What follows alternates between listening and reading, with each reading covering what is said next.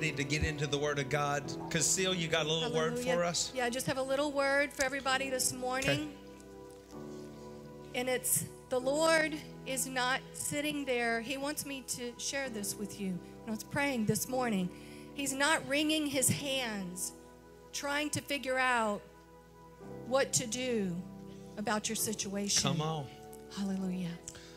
So he's um, Yes. He- got it under control. Yes, he knows the end from the beginning. He's got it under control. All you have to do is put your faith in him and rest in the finished work of the cross and the blood that he shed Come and on. overcame sin and death on your behalf. So just remember, he's not wringing his hands trying to figure out how this is going to work out.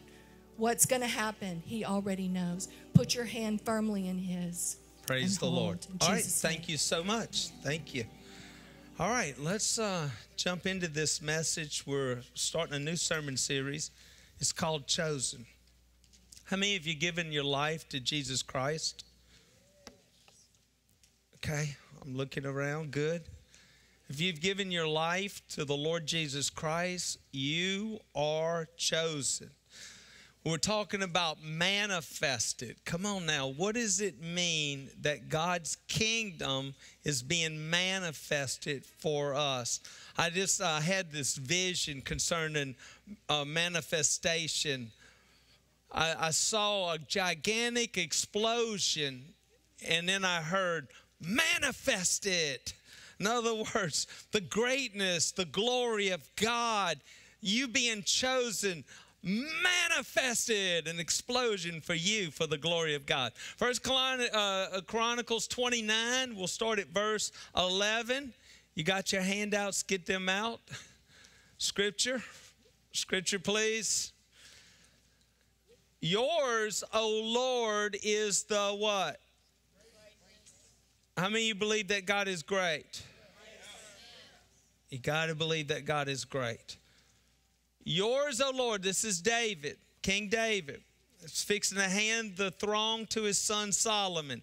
He's at the end of his life. I love to hear people write at the end of their life because of all the experience they have received through the years, they're able to communicate that experience to you.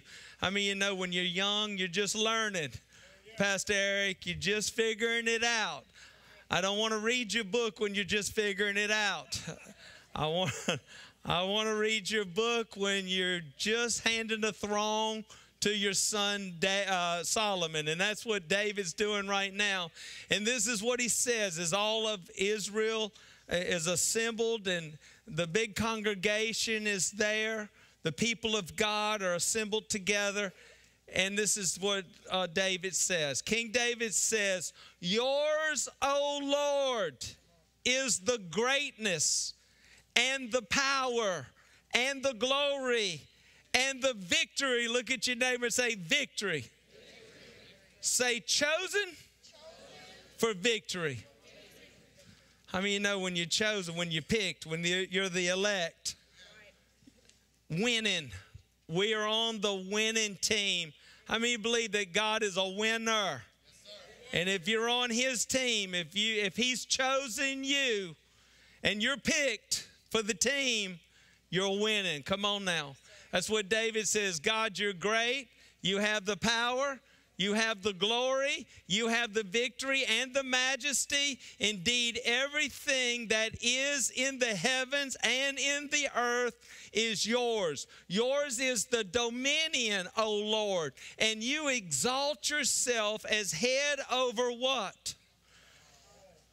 Over all. Lord, riches are yours, honor is yours. It all comes from you. You rule, Lord, over all. And in your hand is power and might. Aren't y'all glad y'all on his team? Wait, aren't you glad he lives in you? Wait, all of this lives in you. Greatness, glory, power, majesty, riches, honor. It lives in you. Wait, you're chosen.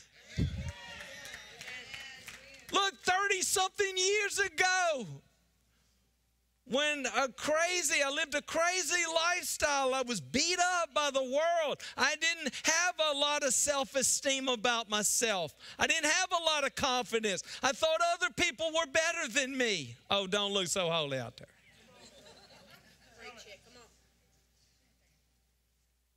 I was judged and looked down upon, even my family.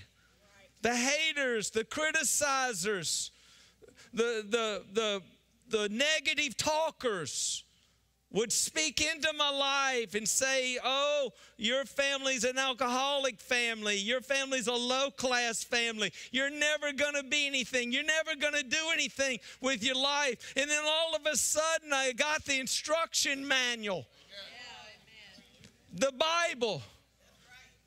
And I started reading the Word of God. And as I read the Word of God about the King, King Jesus, and His kingdom, and when you give your life to Him, everything He is, everything He has is a transference. He's given me power of attorney to use His name, even.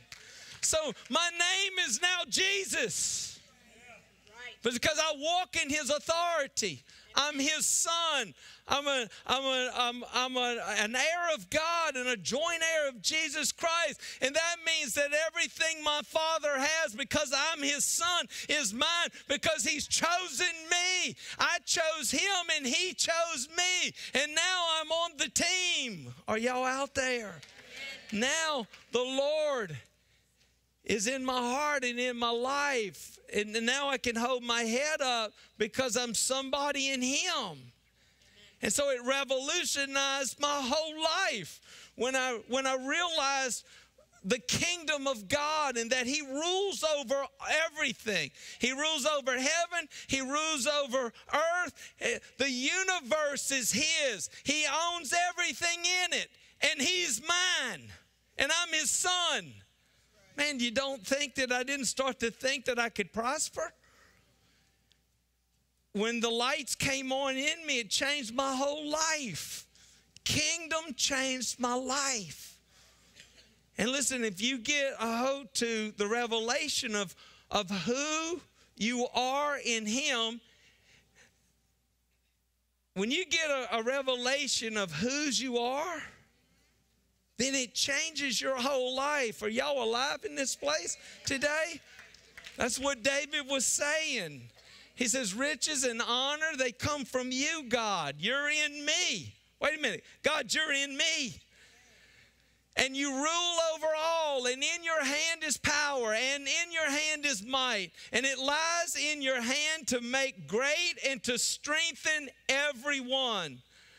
Now, therefore, O God, we thank you. We praise you. We glorify you and your name. You are God and there is none beside you. You are my God. You live in me and I give you glory and honor. I'm grateful. I'm thankful. Listen, can I help you a little bit today? Gratefulness and thankfulness in your heart will help you with depression. It will help you with self esteem. It will help you with negative talking. As soon as you become grateful and thankful to God and understand who He is and who you are in Him, it'll help you in your life. You got to be grateful. You got to be thankful, not because of you, but because of Him and that He's in your life. You're chosen. Yes, chosen. You're in His kingdom. Man, that's a place to shout. That's a place to run. So you ask the question what am I chosen for? What? When am I chosen? You're chosen by God. And what does it mean? It means that God has placed you into His kingdom. It's a divine kingdom. He's placed you into His family. You are now in the God family. Jesus is king of His kingdom, and Jesus rules by divine sovereignty over all. Listen, it's good to be with the one that owns it all and runs it all. I don't know if you can't get excited about that, there just ain't no excitement in you. The Lord has prepared his throne in the heavens and his kingdom rules over all. Psalms 103, verse 19. So, when does God's kingdom start? God's kingdom starts now, the day you make Jesus Christ Lord and Savior of your life. And here's the scripture the law and the prophets were unto John. Since that time, the kingdom of God is preached, and every man passes into it. Luke 16, 16. That just simply means that every man has the opportunity to enter into the kingdom of God. You pass through it, you have an opportunity. I hope today, and I pray today, and for all of you guys that are watching us all over, my prayer today is, is that you enter into God's kingdom if you have not already. I pray that the King, King Jesus will become your Lord and Savior. You will enter into his kingdom, and everything that he has, all of his riches, all of his honor, will come into your life, and the blessing of God, the miraculous power and blessing of God will start to operate through your life from this day forward. That's my prayer. Because when you believe God, supernatural things happen. The kingdom releases the authority of God in your life and it causes you to be calipoted. It causes God's blessing to come into your life. You go from the curse to the blessing. Things really start working right in your life. Or y'all can things start working right. I never forget in my life when I was under a curse.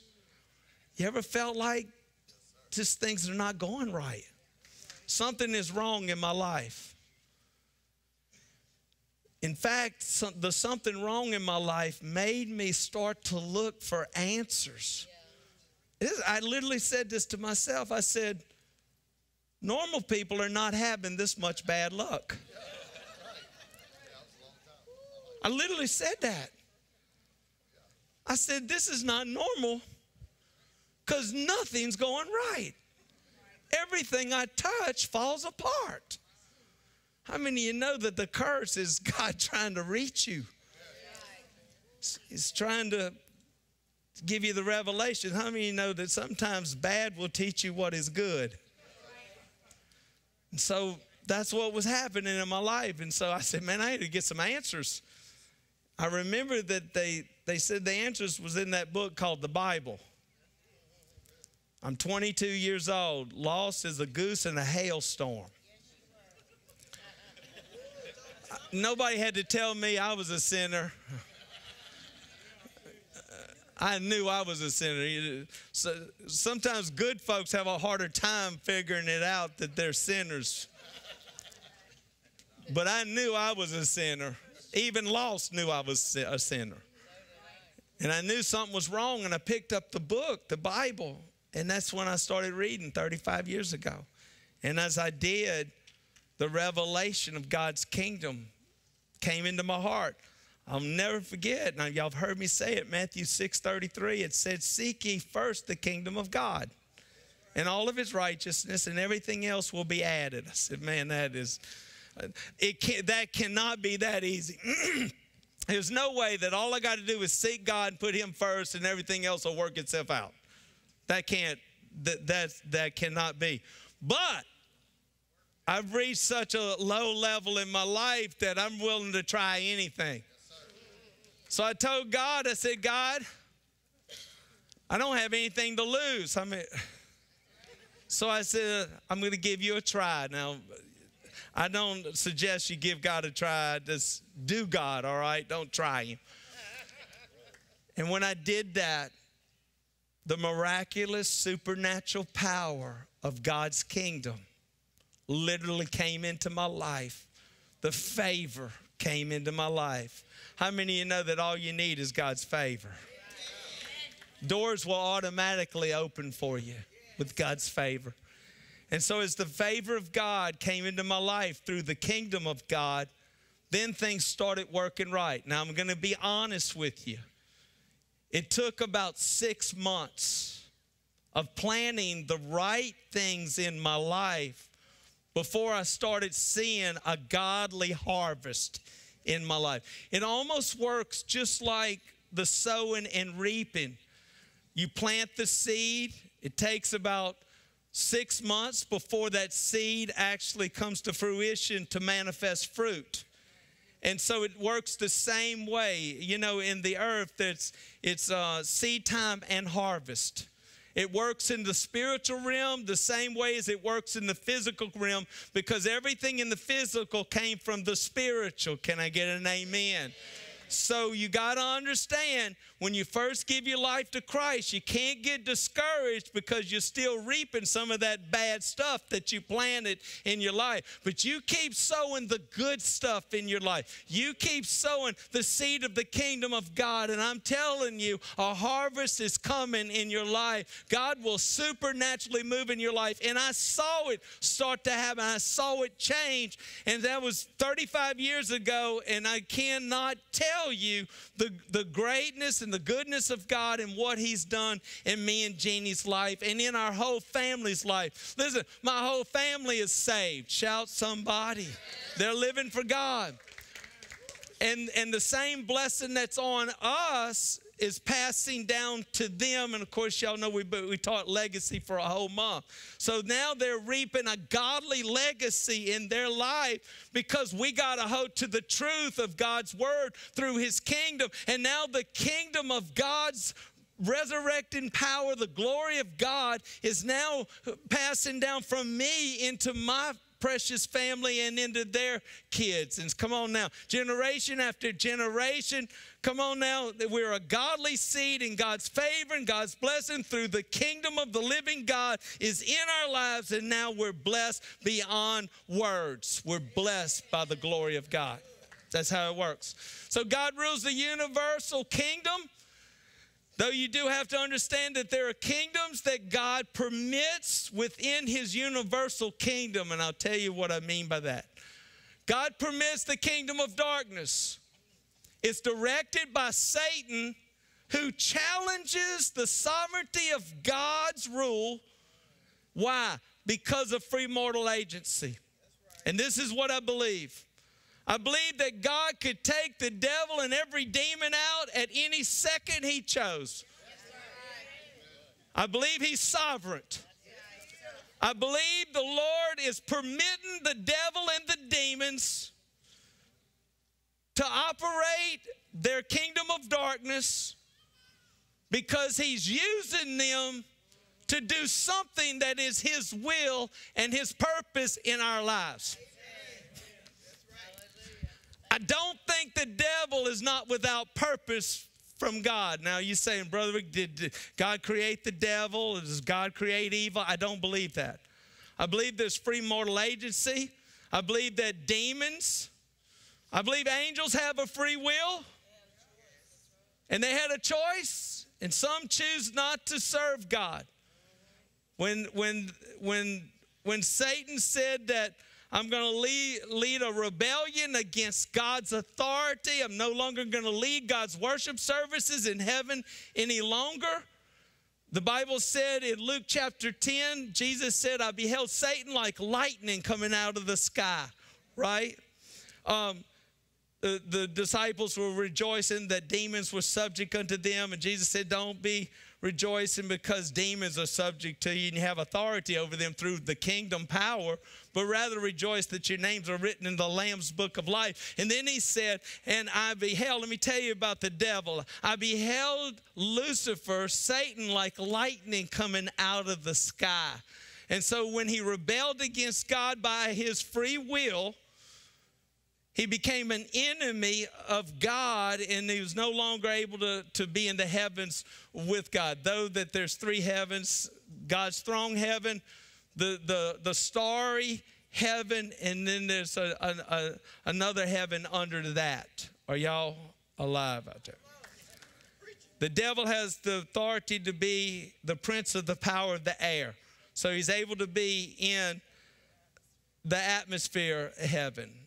Um, and I don't even really, I don't even really want to get off into it because it, it's a it's a big teaching because in the end times, the devil is actually going to have access to God's throne, and um, that's during the, the the end times, and I don't even want to get into it right now. So here's where I'm at, Ms. Ann, the end times. I know. here's where we're at. God allows the enemy, the devil, he's permitted, he's got a permit to operate under the jurisdiction of God. And God is using him. When the devil brings an accusation or comes against us, he brings bad against us. It actually teaches us the goodness of God. And so, therefore, when the devil attacks us, it actually teaches us how good God is, and it causes us as free mortal ages to make a decision for God. Sometimes bad will teach you what is good. And I believe that's why he's got a permit. I believe the Lord issued him a permit for a certain season to operate because God is using the devil in our lives. Now, I know you say, man, uh, God, pew! God could do that right this second. He's sovereign. He has all authority over heaven and in earth. He runs the universal kingdom. By the way, that's why you want to be on his team because his is the winning team, right? The kingdom of darkness is the losing team. They will lose ultimately. And Jesus knew their thoughts and said unto them, Every kingdom divided against itself is brought to desolation, and every city, every house divided against itself shall not stand. And if Satan cast out Satan, he's divided against himself. How shall his kingdom stand? Here's my thought about that division is never God's kingdom. Never. That's a kingdom of darkness. And so we all have to say uh, to, to our own hearts and in our households that we refuse to operate in division.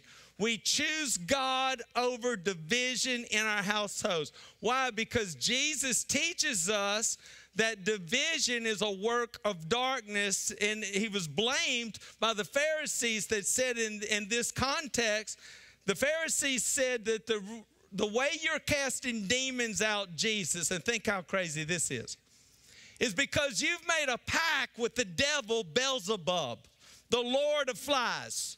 So, the reason why you're able to cast demons out, Jesus, what the Pharisees were saying, is because you have an agreement with the kingdom of darkness. And Jesus came back and said, Look, if the kingdom of darkness is working against itself, how shall it stand? A house divided against itself cannot stand. Can I tell you in your family, in your marriage, if you've got division, if you've got schism, if there's there, you're separated, that's the kingdom of darkness. Why? Because the kingdom of God is unity. The kingdom of God is agreement. Listen, you got you step out of this kingdom and into the kingdom of God, or you step into the kingdom of darkness. And as soon as you step into the kingdom of darkness, it releases the atmosphere of that kingdom. Somebody said, Well, how can I be in the kingdom of God and still operate in the kingdom of darkness? Because you have a will. You have to choose to walk in the fullness of God's kingdom on a daily basis. God is king.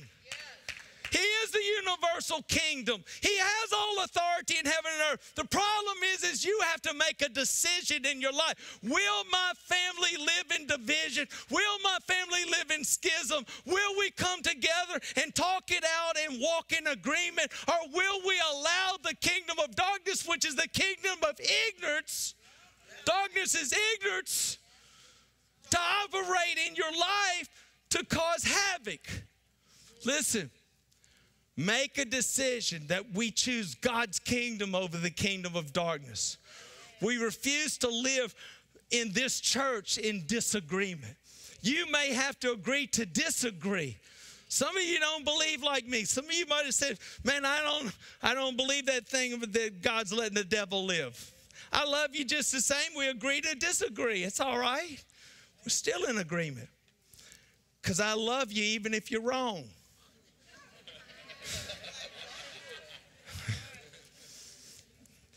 That's my opinion. Hallelujah. By the way, we all are entitled to our own way. Don't don't think nothing into that. Because everybody's got one, right? So so I must choose God then over temptation. Here's the three things that you got to choose God over. Three things. You got to choose God over division. You got to refuse to let the devil operate in your household. You got to choose God over temptation because the, the devil's going to tempt you. The last one is you got to choose God over pride. But you've got to choose God over temptation. I must choose God over temptation. And the devil said unto Jesus when he tempted Jesus in the wilderness, remember 40 days without eating. First temptation was turn this uh, stone into bread, right? Um, and then he comes and he hits him again with the kingdoms of the world. He says, All this power, he showed him all the world kingdoms, all the powers of the world. He says, All of this will I give you, and the glory of them, which is mine to give, is delivered unto me, and I give it to whomsoever I will. I, the devil, can give it away. So here's what the devil said Jesus is tempted. He took him on the mountain, and he says, See all the world kingdoms, the glory of them, all the wealth of the world, all of this will I give you if you'll bow down and worship me. You know why it was so crucial? Because the first Adam lost the dominion, the authority of God. Jesus is the second Adam. Jesus came to buy back what Adam lost. If Jesus would have submitted to the world, going after the kingdoms of the world and not the kingdom of God, he would have forfeited him receiving back what we lost. and Jesus said, It is written again, you shall not worship anybody but the Lord your God. And the Bible said in Luke chapter 4, the devil left him for a season until there would be another opportunity to tempt him. Can I just tell you that there are times in your lives, saints, that you got to hold steady. You got to you got to get down and you got to hunker down, man, because there's wave of demons that hit you at certain times that's more warfare than at other times. And during those times that you're attacked by the waves of demons in your family and in your household, you got to hold your ground. You got to you got to get your feet planted, man. You got to you got to hunker down, man, and wage war and fight. And let me tell you something, the devil gets tired, you just wear him out. The devil quit the devil quit tempting me with other women, right? Because after 30 something years, he says, Man, I'm just wore down. That guy's not biting. He's, he quit tempting me with cocaine. After 30 something years, he says, Man, this ain't working. We're going to have to find something else.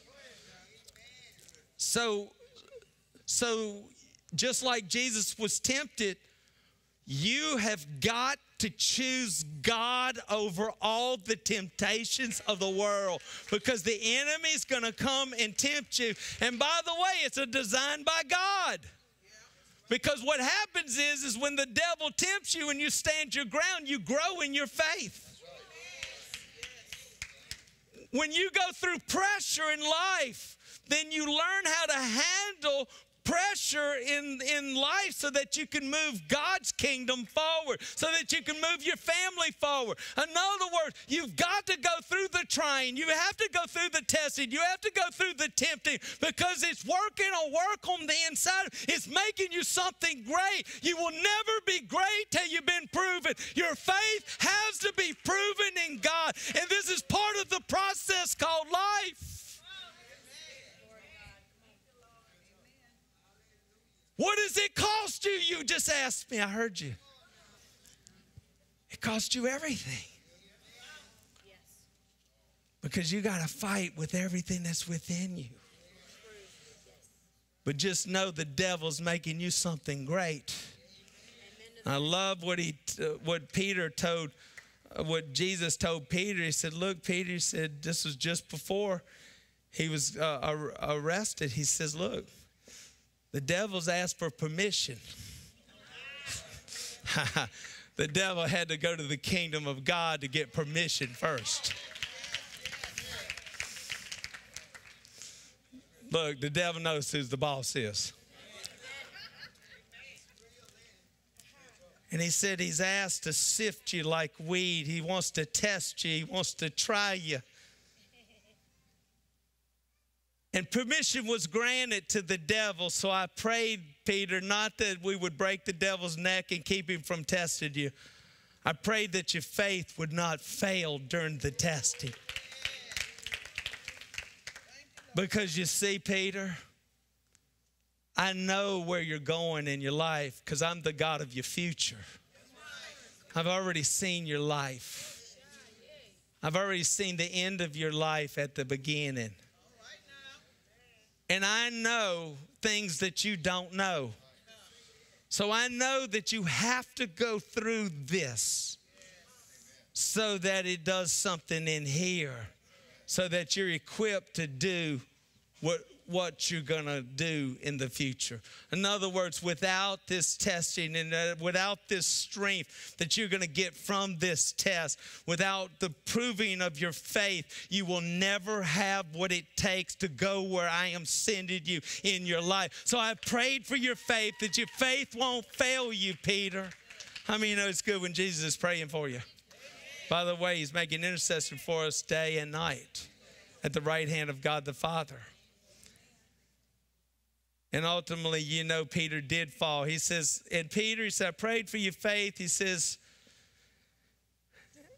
and when you are restored, when you are converted, is what the King James says, strengthen your brethren. In other words, take every experience. When you fell down and you got back up and dusted off, make sure you share that with your brothers so that when they go through their testing, they will have your experience, which will be a strength in them to help them fight through too, to help them become everything that God has called them to be as well. So God permits governments, God permits kingdoms. It's almost like going to the city and getting a permit. Permit is permission. Permission granted to operate your business your, your kingdom. Look, there's nothing wrong with your kingdoms as long as your kingdom is submitted to the King of Kings, his kingdom. In fact, you're called by God to build businesses. You're called by God to govern and to rule and to reign in planet Earth. So you are called by God to do great things. There's nothing wrong with it. There's nothing wrong with money. Money's not the root of evil, it's the love of money that's the root of all evil. And if you think money's so evil, bring it to me and I'm going to sanctify it and pay the electric bill with it. So, money is an attitude. uh, uh, the love of money is an attitude, man. It's it, it's it's it's you loving it. So money in itself is not evil. It's the way you treat money. If it becomes your God, then you, you it, it's become the root of all evil in your life. Success is a test. I must choose God over pride. I use King Nebuchadnezzar that built the great Babylonian kingdom. And amazing, it says kingdom here. I, in my phone, as I was re, I was talking to it, I said kingdom, it, it, it typed out kingdom. And I thought, yes, that's who Nebuchadnezzar was kingdom. So I'm going to leave it in there. So that's not, and I already got reproved. I sent it out to some of our leaders, and they sent me a message back saying, Hey, you know, you got a typo error in there. It says kingdom. I said, No, Nebuchadnezzar was kind of dumb. He said, I got it. I got it. I said, so that's why I left it. How many of you know that when you start to exalt yourself and elevate yourself and you think you're bigger than God and that you're all that, that you might lose your mind? You know the story of um, Nebuchadnezzar was he had a dream. Have you ever had a dream? And in his dream, he saw this gigantic tree that grew up bigger than anything he'd ever seen. Maybe a tree as big as this, this room here, 18,000 square feet here. And he saw it grow, and the limbs spread out to all the earth.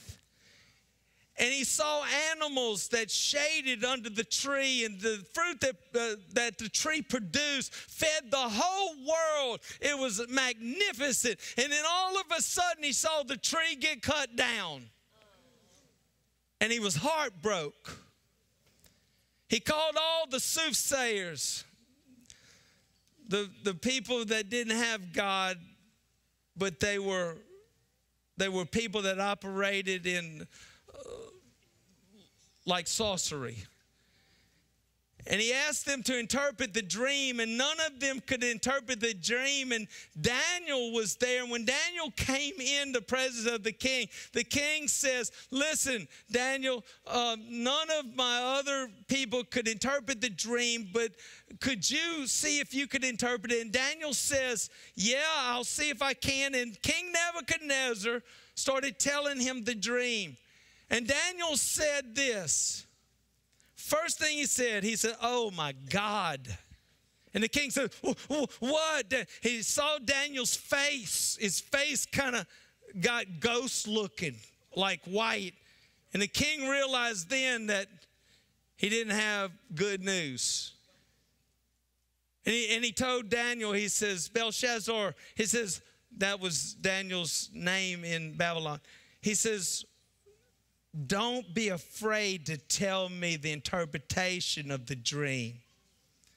And Daniel immediately said, He says, King, he says, I wish this dream was for your enemies. I mean, that's bad when you get in a word says, Man, I wish that this wasn't for you. I mean, you are feeling like this is one meeting I don't feel it in my gut to show up for? And Daniel said, The tree that you saw that grew up is the great Babylon. And the great Babylon feeds the entire world. And there are many people that are shaded under its covering and protected by this big tree. And so you saw the animals that, that were under the tree protected. And then when you saw the tree get cut down,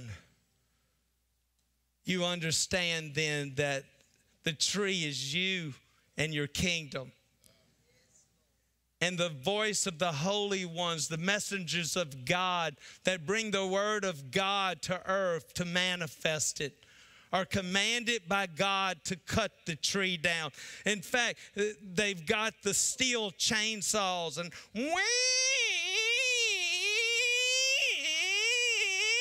big tree they're cutting. The good news is, though, King,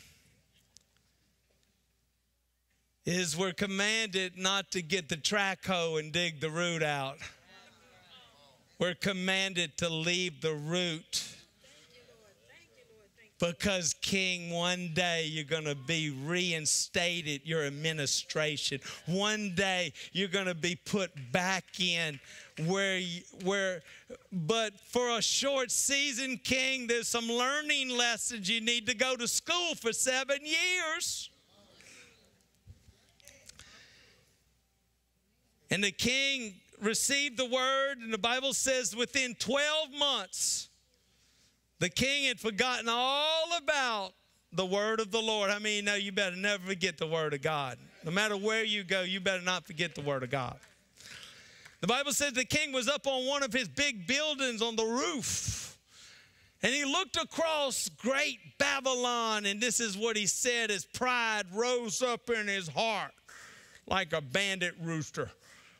All of this great Babylon have I created with my own hands, and its majesty is mine. It's for me. And the Bible says about that time a voice came from a messenger in heaven and said, Oh, King, Today's your day to start school for the first day. And we will start with a cow brain in you. Moo! I mean, you know, you don't listen to God, you could lose your mind. You could wake up a cow. All of a sudden, you wake up mooing. You take your robe off, your purple robe. You, you walk down off of your gigantic roof, and, and there's the bellboy there, and you just walk right past him in, in, in your t shirt. One of them, them t shirts got the little skinny thing on it. Out in your boxers. And they ask, oh, oh, well, King, King, well, you all right? Where are you going? Moo! Moo! I need some grass. I, I, I love chewing cud all night. I can't wait for my nails to grow out and my hair. I don't need to cut my hair at least seven years. And I love to wake up because I've been camping without a tent. Because there was a time I couldn't afford a tent with my son at Cub Scouts. So I told my son that sissies have tents, men sleep out under the stars like us. And we wake up with a sore throat, all wet.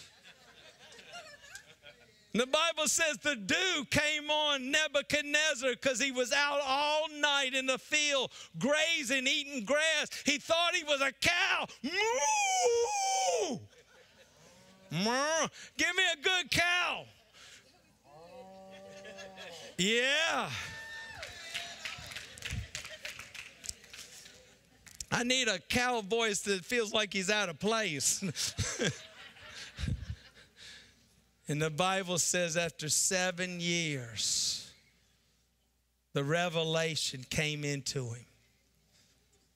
And the king rose up off the ground, and the Bible says he looked to heaven and he said, I give God all the glory and all the honor and all the praise, for there is none but him. He's over all. He is Lord. He's Lord over all of heaven, over all of earth. And I bow my head before the great God of heaven and earth. And when he did that restoration, he activated the kingdom of God and the power of God's influence and glory and riches and honor came into his life. And the Bible says that he went up to the palace and put his robe back on and all of his all of his leaders came back around him and he started counseling them and telling him and the bible says that his kingdom was better than it ever was before. God had restored everything back to him and even more but he got it through the revelation. The, in fact, Daniel says that you'll be in the field grazing like a cow until you learn that God is God and there is none besides him. Till you put him first in your life. Let's go down to number four real quick. Number four in your handout. Kingdom power and qualifications. A, who and how. And I'm going to quickly go through these.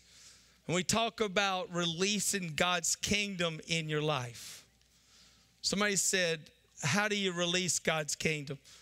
I took a couple examples from God's word. The first example was the 10 lepers. Do y'all remember? How did they receive from God's kingdom? The Bible says that they cried out to Jesus.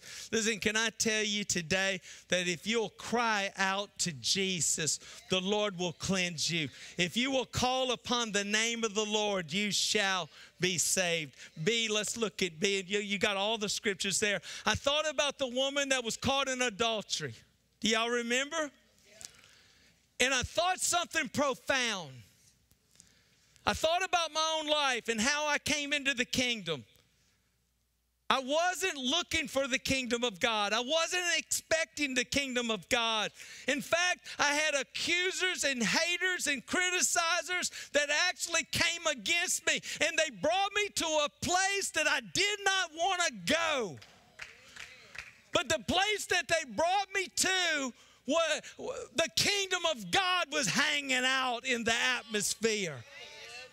Sometimes in your life, God is so good and so great that you can go to a place that you don't want to go to. And, and you can find something that you never knew was there because you're blind. And in that place, like the woman that was, was, was uh, judged for adultery. By the way, where's the guy at?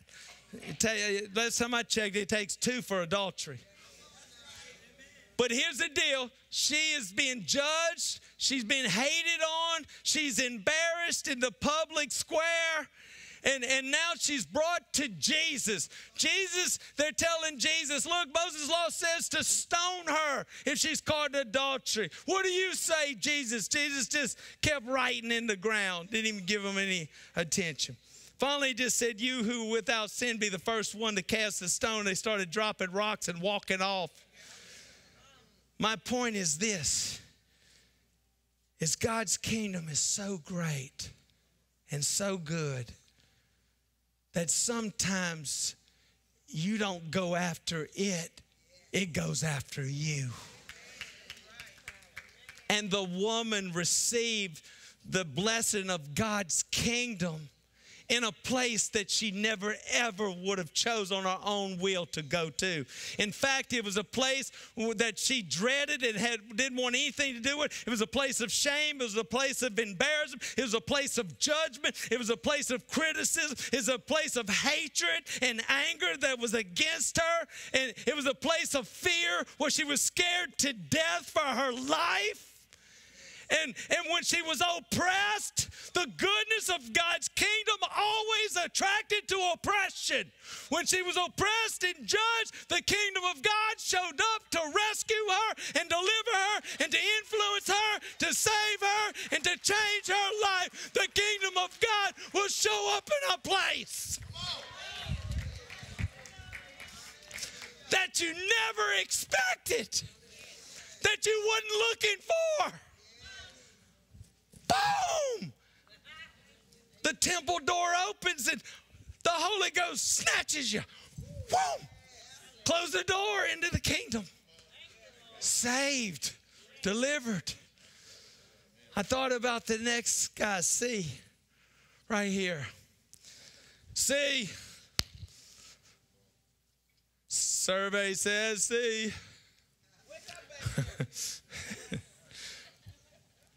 Thought about the woman with the issue of blood. I'm coming to a close. I thought about a woman. For 12 long years, she paid everything that she ever had to the doctors, and she was none the better. She had an, an embarrassing condition with her body. In fact, the law of that day said that she was unclean and was not even fit to be in public. Then at that time, women were looked upon as property, which is wrong. And so they didn't have the freedom to, to be into the streets and mingle among the crowds of people because of their gender. But this woman had heard about the kingdom of God. Jesus is king of his kingdom. And she had heard about the goodness of God and the power of God. And she knew in her heart, she says, if I could just touch the hem of his garment, the influence and power of that kingdom will come into my life and I will be healed. And she pressed through the crowds fighting to get to Jesus. Can I tell you, if you'll fight for Jesus, Jesus will fight for you. And she fought through the crowd. She finally got to Jesus.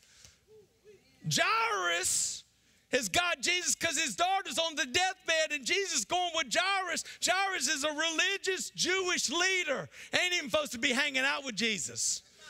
But he's desperate, man. My daughter's gonna die. So you can, the law and all that, ain't no power in no law. There's power in this guy. I'm bringing this guy to my house to heal my daughter. So, so Jairus and Jesus are going to his house to, to heal his daughter. And, and, and the woman presses through the crowd.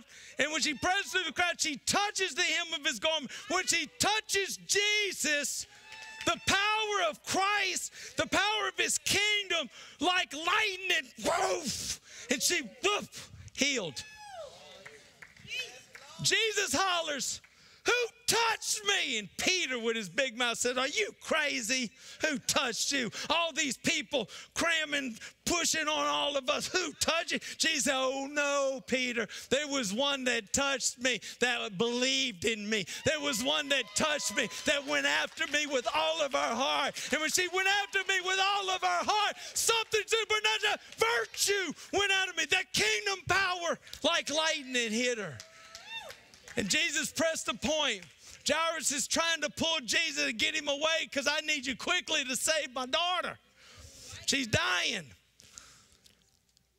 Jesus stops and says, No, who was it? And the little woman, realizing that she was fixing to be found out, scared. Bible says she was trembling. She like, it was me, sir. It was me. I know I shouldn't be out here. I know I'm unclean, but I just had to go after you. And Jesus said, Woman, thy faith has healed thee. And Jesus takes off with Jairus on the way as Jesus is going. Let me tell you something the devil's going to try to keep you from the influence of the kingdom of God. He's going to try to keep you from the power of God. Because on his way with Jairus, immediately people from Jairus' house came, Oh, uh, stop, your daughter's already dead, Jairus. Ain't no need for Jesus to come to your house now. It's too late. How many times the devil tell us it's too late? You lying devil. It ain't too late. Jesus is the resurrection and the life. It don't matter if she's dead, she's fixing to get up.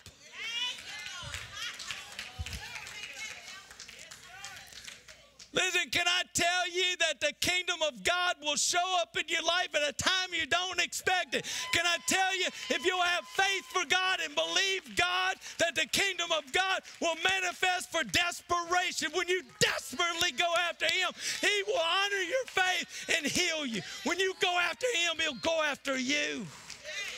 And so here we are at Jairus' house. Everybody's mourning and crying. And Jesus said, Why y'all crying? She's sleeping.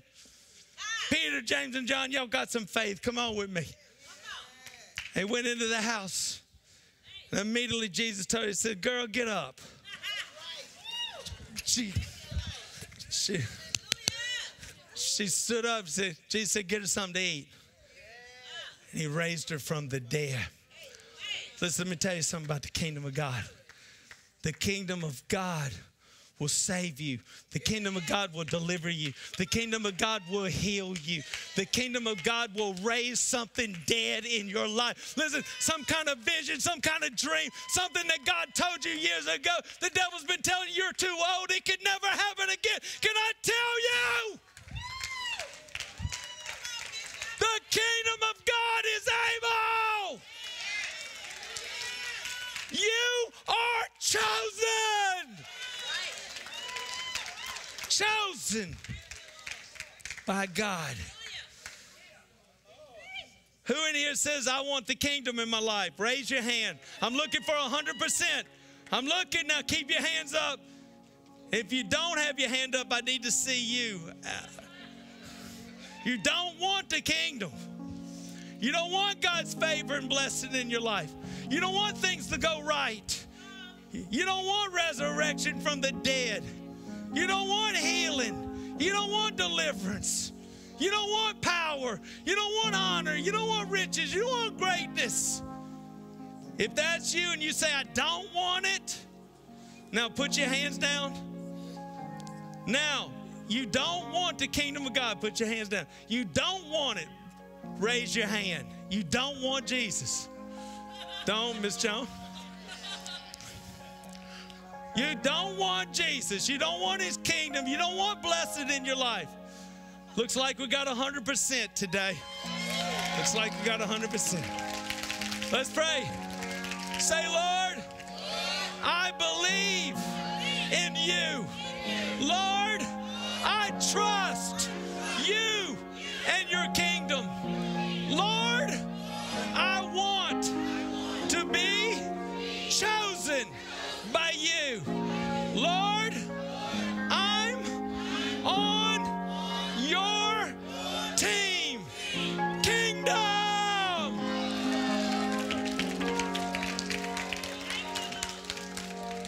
Quickly say, say, Jesus, forgive me. I make you my Lord and my Savior. Hey, if you prayed that, God's doing something great in your hearts and lives right now. Now I'm going to decree and I'm declare God's kingdom in your life. Father, today,